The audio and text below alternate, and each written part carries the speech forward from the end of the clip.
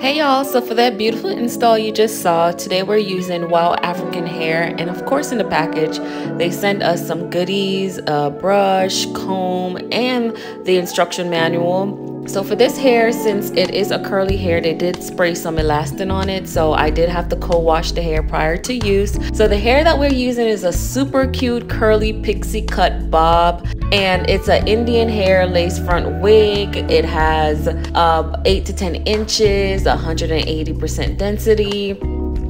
It is a beginner friendly wig so the knots do come pre-bleached pre-plucked and ready to wear with 100% human hair. So to get started, I've already braided her hair back in the typical braid pattern that I usually use for most of my videos. So I'm not gonna go over that again, but I am basically spraying her hair with the freeze spray and slicking her edges back because we do want those hairs to go all the way back so that when we put the cap on, we are not interrupting her natural hairline when we start to apply the glue. So what you wanna do is you want to spray the freeze spray along her hairline and go ahead and blow that out on cool.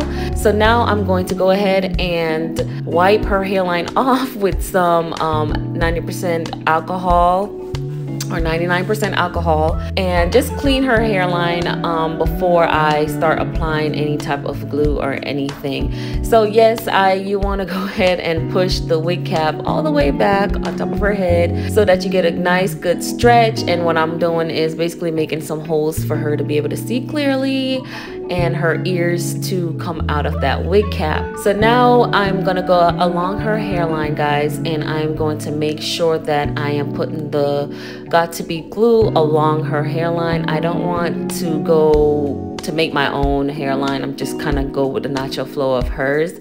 So this is the best way to um, get the best foundation for your uh, wig cap. So what I like to do is I like to do a nice stitch um, of the cap. As you can see, I start from one ear and go all the way around to the next. And as I'm looping, I'm kind of doing like a under loop to where the thread uh, goes under that braid. And so when I go in and cut the lace or um, cut the cap, I, I have a nice finish and the cap is not like all over the place.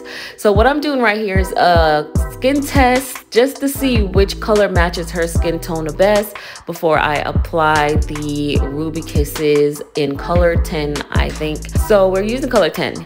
Um, so before I apply that, I want to do a skin test to make sure like the color matches her skin the best. And I want to take that wig as well and apply that same color in that wig, especially if the wig is a transparent lace and not a HD Swiss lace which this wig is not. So um, the next thing you want to do is you want to cut that lace or the cap off and you want it to be as close to her head as possible as far as her skin so be careful when doing this you don't want to cut your client's skin but you also want to get it as close as possible to her skin to where there's no lifting or minimum lifting um, if none at all. You know, you're aiming for none, but you know,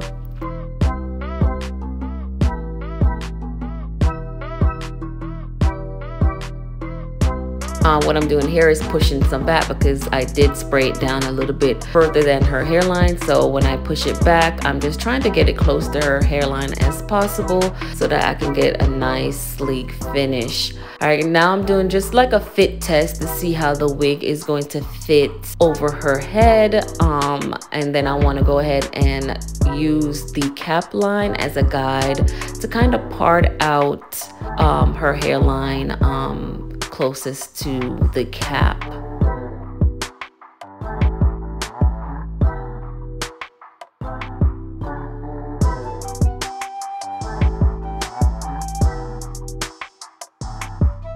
Going back in and I'm kind of wiping the makeup off with some more alcohol. And the next thing I want to do is protect her skin because she is my model. She's constantly coming in and getting her hair um, installed. And she has very beautiful skin and we want to keep it that way. So what we do is use a skin protectant before we add any type of adhesive. On the side of her head right there you saw what I just did. Basically I the, the cap got pushed back and to avoid getting the glue in her natural hair, I'm gonna just kind of like jump it right onto the skin because you know there's nothing really I can do about getting the cap back once it slips back. There's it's almost impossible to get it back in place. So that's what I did there and you want to use if they're going to be wearing this wig for some time you want to use multiple layers. I typically use three to four layers because she does wear this for at least a week or two and we don't want it to come off. So I like to add multiple layers and what you do is you wait for it to dry. When it dries, that means it turns clear and then you want to go in with your second, third, and fourth layer and um, wait for it to be clear before you add the next layer. You also want to wait for it to become clear before you even start to add the wig onto it, okay?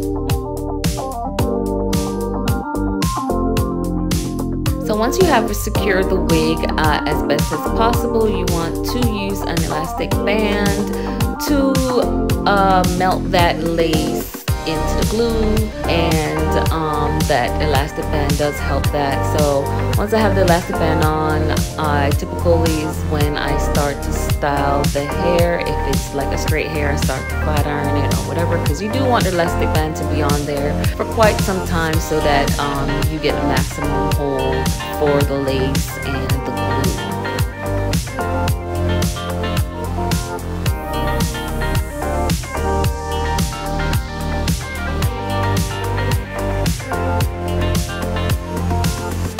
So what I'm doing now is basically I am going to cut out the excess lace and excess hair that um, did not get glued onto her natural hairline. So I'm just parting it out so that it's easier to cut off.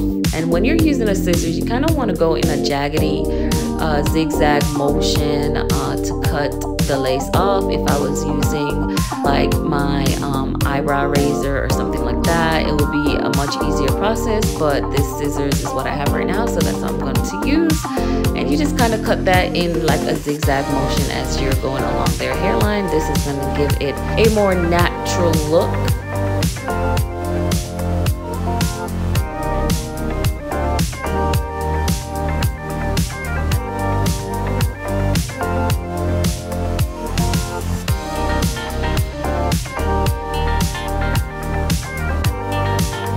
now is I am cutting out the baby hair along her hairline and I mean I like to do them a little short because I just think shorter baby hair makes for a, nat a more natural look and I'm using my very small curling iron to curl that baby hair up and that's going to allow it to um, lay in place or kind of curl better once I um, start to mousse it down.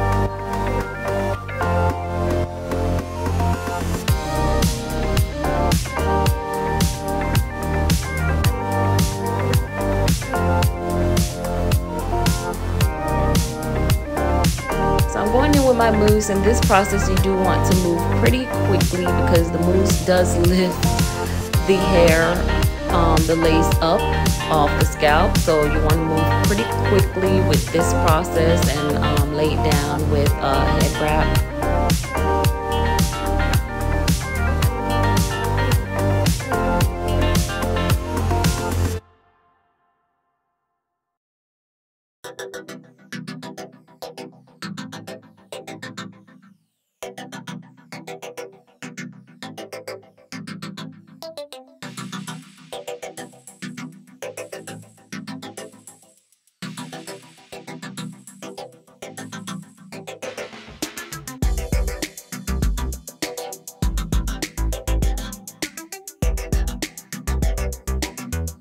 Alright guys, so it was pretty easy to style this hair. I just basically took my spray bottle and wet it completely.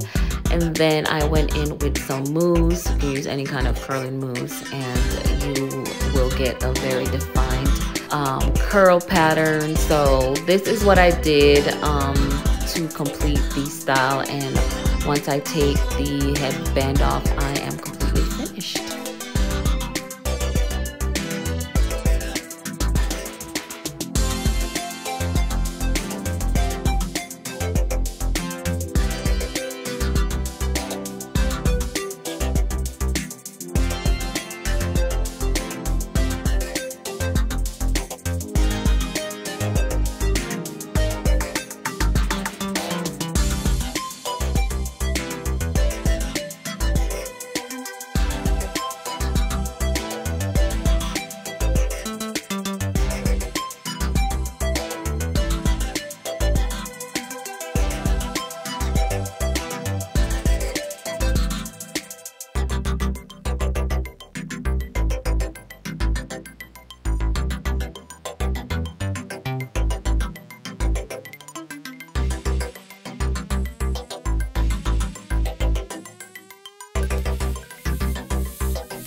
Again, for this install, y'all, I used the Wow African Hair. This is their curly pixie cut bob. And if you want $15 off for purchasing this wig or any wig on their website, use code Duchess15. That's D U C H E S S 1 5